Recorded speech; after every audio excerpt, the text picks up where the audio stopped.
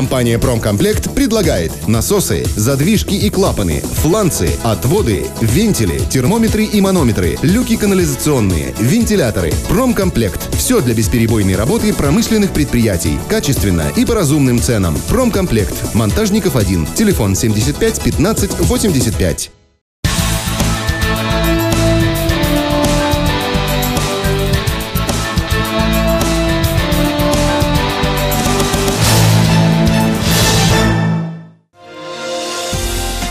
Это наше время. С новостями четверга готовы поделиться мои коллеги и я, Мирике Ульманов. Здравствуйте. Автомобилисты могут ликовать. В Оренбурге начинается долгожданный ремонт улицы Рыбаковской. В понедельник будет разыгран аукцион и станут известны исполнители проекта. Однако на месте уже начались подготовительные работы. На проезжей части дорожники сегодня срезали верхний слой асфальта. Ремонт начнется с реконструкции систем коммуникации. В понедельник на Рыбаковскую выходят специалисты Оренбург водоканала. Во вторник к ним присоединятся тепловики. Между тем дорожники спешат объяснить горожанам. В этом году реконструкция Рыбаковской будет будет лишь частичной. У нас в планах так, чтобы именно от Паркова до Терешковой вот этот самый разбитый участок а, произвести выполнение, постараться в этом году. То есть акцион будет отыгрываться с 2016 годом. То есть в этом году нет прям планов всю Рыбаковскую сделать. Но самый разбитый участок у нас в планах есть. Ремонтные работы в мэрии обещают завершить ко дню города. Правда, оренбуржцам придется запастись терпением и готовиться к пробкам. Участки дороги на Рыбаковской будут частично перекрываться. Об этом городской администрации сообщат позднее.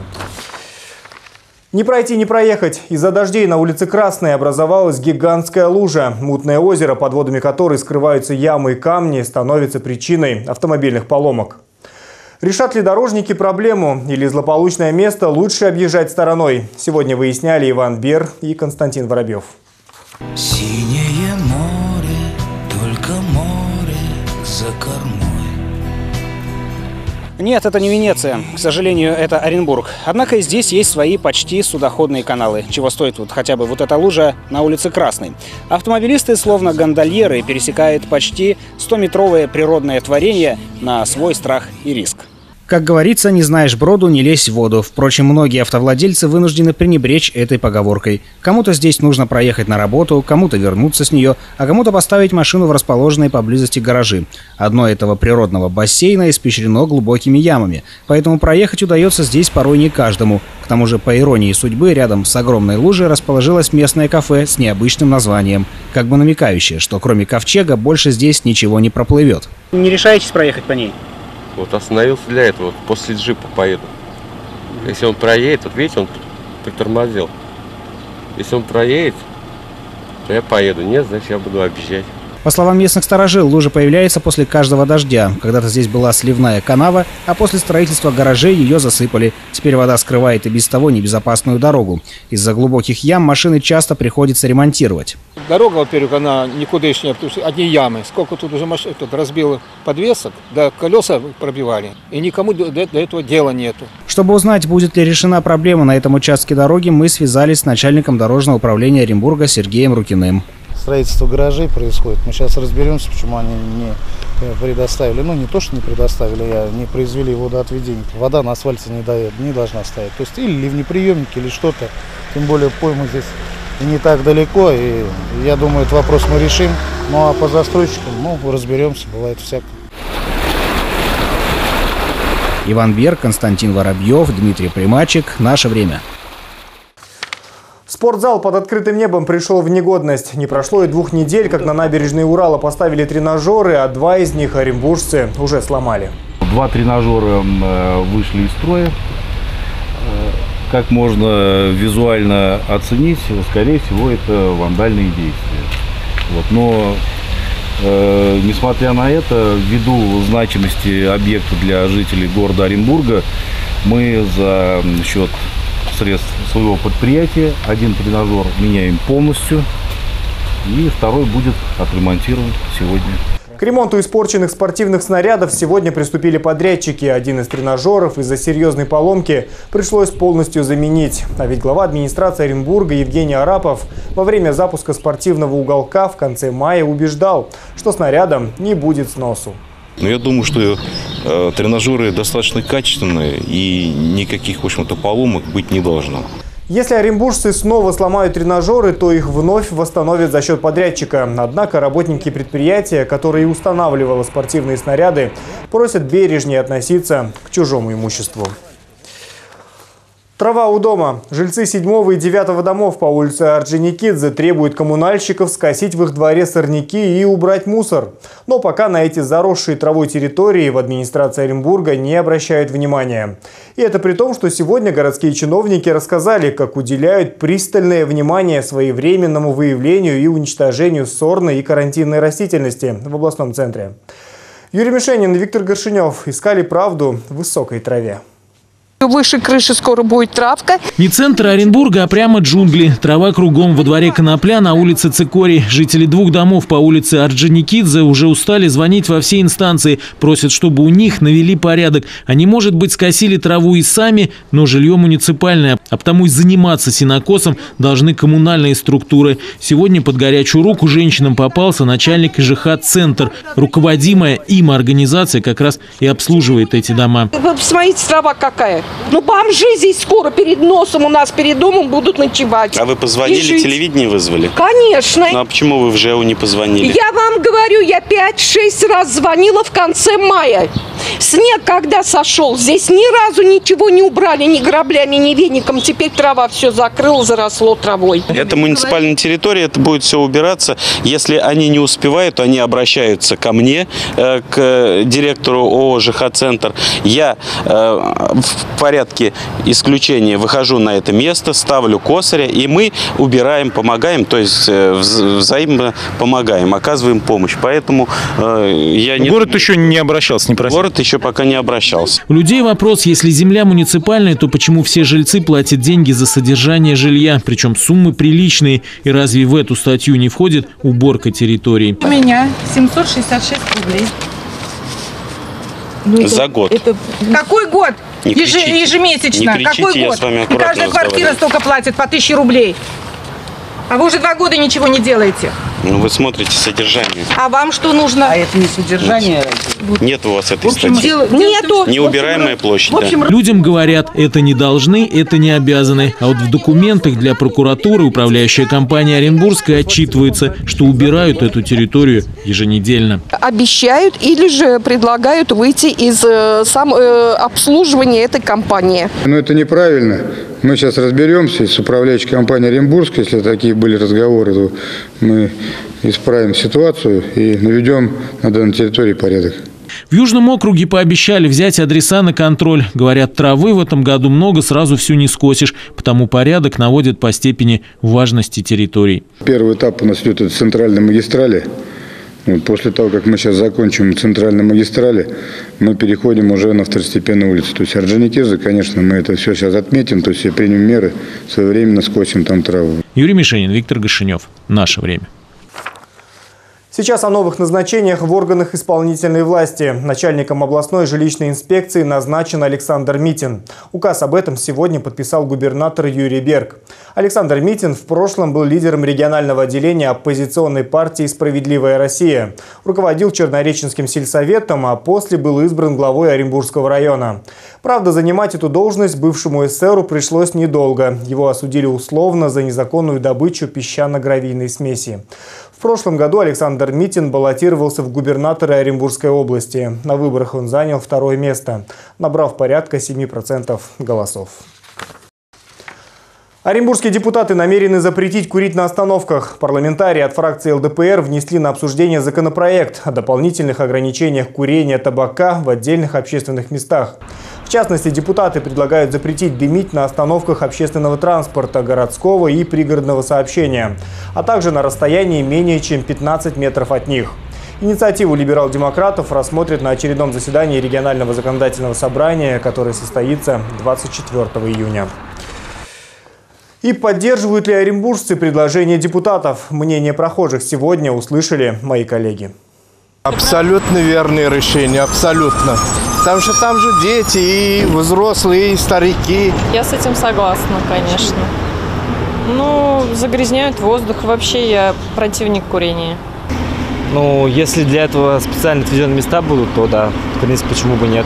Конечно, нам тоже не нравится, что курят, э, хоть и там дедушки, папы курят, заставляем выходить, а так на улице неприятно то, что мимо проходят люди, запах на детей идет, не задумываются абсолютно об этом.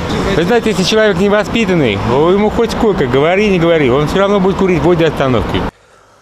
Когда цифры в квитанциях растут как на дрожжах, жители 14-го дома по улице Промышленной возмущены. В счетах, которые они получили за май, сумма оплаты общедомовых нужд за электричество оказалась завышенной в 5-6 раз. При том, что платят люди регулярно и свет жгли не больше, чем обычно.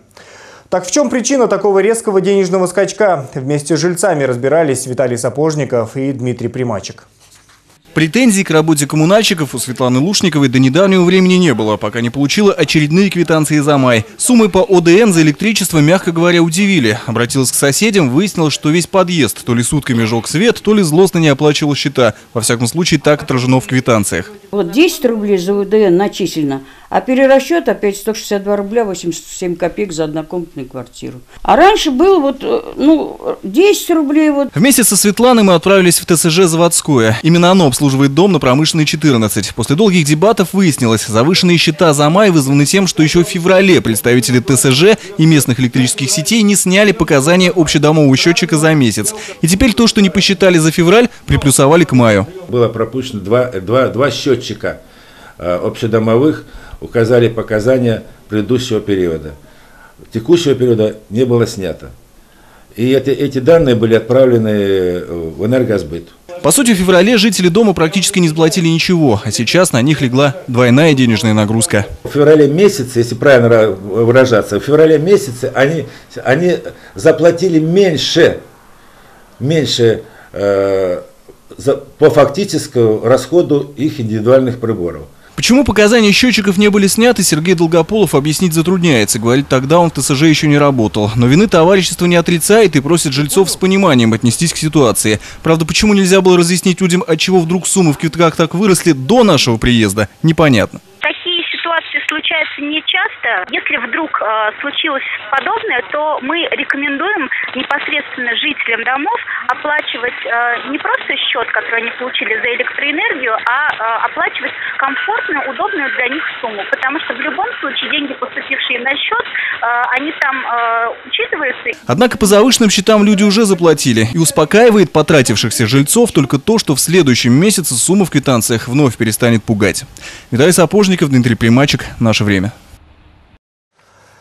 О своих проблемах, которые никак не удается самостоятельно решить, вы всегда можете рассказать нашим корреспондентам. Мы обязательно выслушаем и постараемся помочь. Телефон редакции 31 04 62.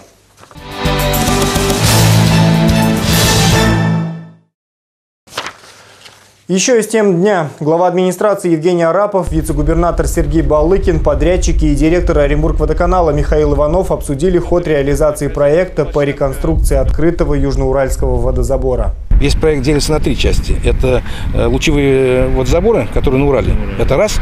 Потом э, ВОЗ – это водоочистные сооружения, где мы стоим. И э, второй, третий этап – это насосная станция второго подъема, которую мы тоже проводим реконструкцию, и хлораторная.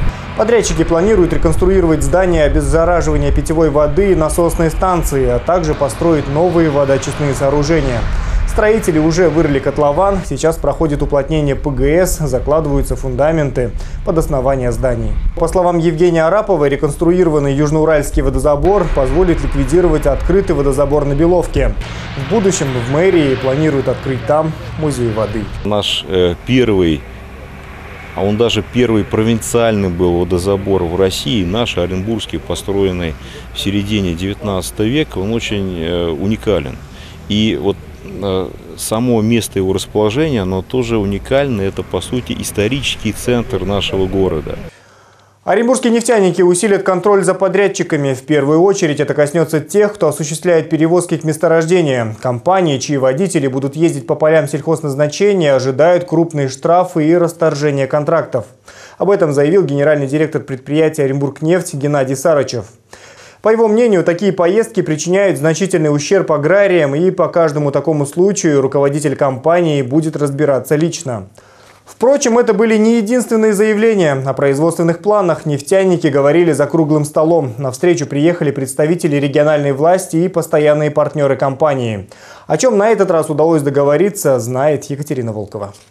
Пообщаться открыто и решить важные проблемы. За круглым столом оренбургские нефтяники и представители региональной власти собрались во второй раз. В этом году тем для обсуждений было значительно больше и не только местного значения, но и государственного. Оренбург-нефть для области важный игрок. Это и основной налогоплательщик, крупный работодатель, надежный социальный партнер. Только за прошлый год в региональный бюджет нефтяники перечислили более 19 миллиардов рублей. Предприятие готово развиваться, вот только добывать нефть на тех территориях, где она есть, порой бывает не просто сложно, а невозможно. И все из-за высоких арендных ставок, которые просят собственники земельных участков. За прошлый год, если я не ошибаюсь, порядка миллиард шестьсот инвестиций, которые мы могли бы вложить в Оренбургский регион, мы не смогли только в связи с отсутствием разрешения на землю. Местные законодатели земельный вопрос пытались решить не раз, но воли региона все-таки мало. Надо выходить с законодательной инициативы и решать эту проблему на уровне, конечно же, сегодня Российской Федерации. А еще региональному правительству хотелось бы, чтобы нефтяной гигант больше сотрудничал с местными компаниями.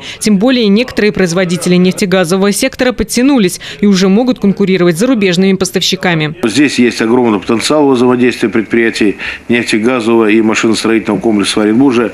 В нынешних условиях мы хотели, чтобы он был реализован. В Оренбургнефти еще раз заверили, что они открыты, но ждут для сотрудничества только квалифицированных поставщиков и подрядчиков. Ведь от того, как развивается компания, зависит жизнь региона. Потому качественная работа важна обеим сторонам. Екатерина Волкова, Дмитрий Примачек. Наше время. Когда светский праздник совпадает с религиозным. Кроме Дня России, православные оренбуржцы завтра будут славить чудотворную икону Табынской Божьей Матери. В честь одной из главных святынь во всех храмах пройдут торжественные службы. После утреннего богослужения начнется традиционный крестный ход. Верующие стекутся к Никольскому кафедральному собору и от него двинутся к поклонному кресту по улицам Чкалова, маршала Жукова, Пролетарского и Володарского. После молебна крестный ход проследует по переулку Матросскому, улицам Советской, Правды и Челюскинцев. Во время шествия движение с 11.30 утра и до 2 часов дня по этим улицам будет перекрыто. И в первой половине дня не получится проехать и по самому центру города. Из-за торжеств, посвященных главному празднику страны, автоинспекторы перекроют улицу Советскую. Кстати, посмотреть в День России будет на что, будет и в чем поучаствовать. В 9 утра с главной улицы города начнется праздничное шествие, к которому могут примкнуть все желающие.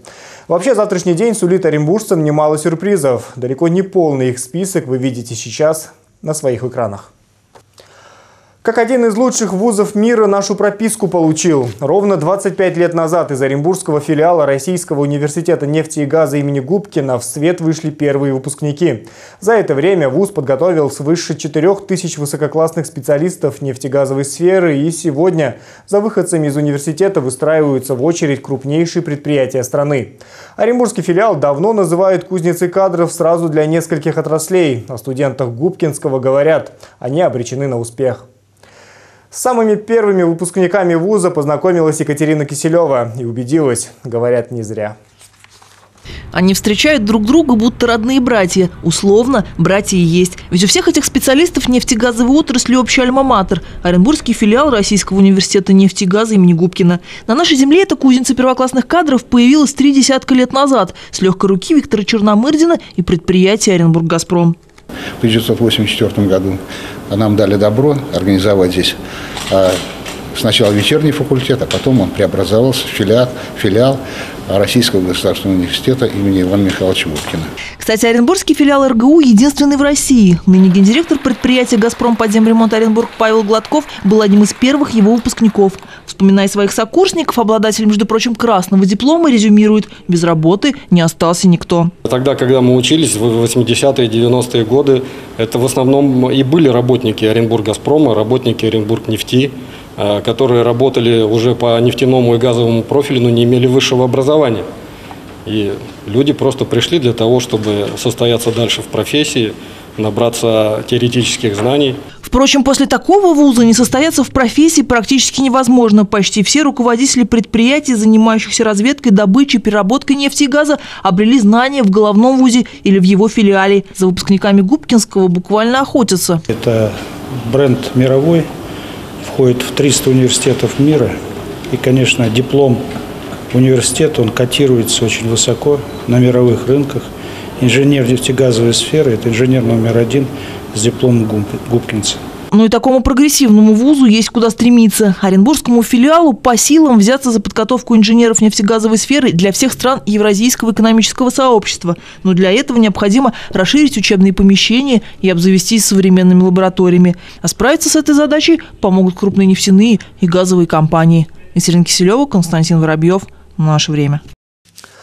Пришло время спорта. Плюс один. Южный Урал подписал еще одного нападающего. Накануне Орский хоккейный клуб заключил контракт с форвардом Анатолием Раенко. 28-летний воспитанник челябинского хоккея, выступавший в свое время в континентальной хоккейной лиге «За трактор», прошлый сезон провел в странствиях по Казахстану. Регулярный чемпионат Анатолий Раенко начинал в Карагандинской Саре-Арке, а завершал в Усть-Каменогорском Касцинг Торпедо. Всего в обеих командах форвард провел 55 матчей, в которых забросил 9 шайб и сделал столько же голевых передач. Что еще интересного произошло в мире спорта, знает наш обозреватель Сергей Тыщенко.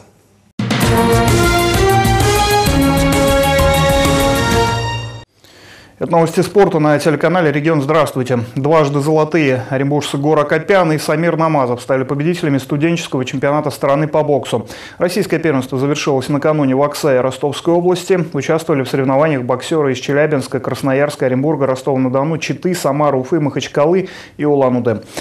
Гора Копян представлял Оренбургскую область в весовой категории 49 килограммов, Самир Намазов свыше 91 килограмма. Оба спортсмена провели на турнире по несколько поединков, в которых единогласным решением судей одержали победу.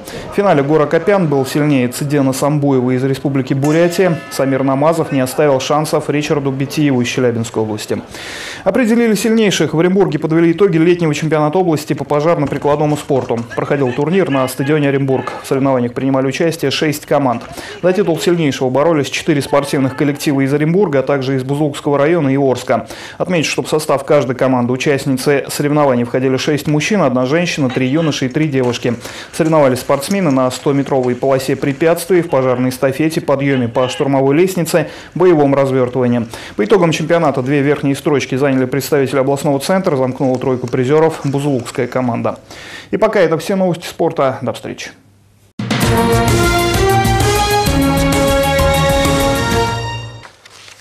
Конце выпуска, как обычно, информация от городских электрических сетей. В понедельник, 15 июня, жители некоторых районов Оренбурга останутся без электроэнергии. Причина – плановые ремонтные работы. Отключение возможно и в пригороде. Название улиц, где не будет электричества, вы видите на своих экранах. Уточнить их можно по телефонам 56 83 38, либо 98 48 48. Далее наш выпуск продолжит подробный прогноз погоды на завтра. У меня же на сегодня все. Всех с наступающим праздником. Днем России.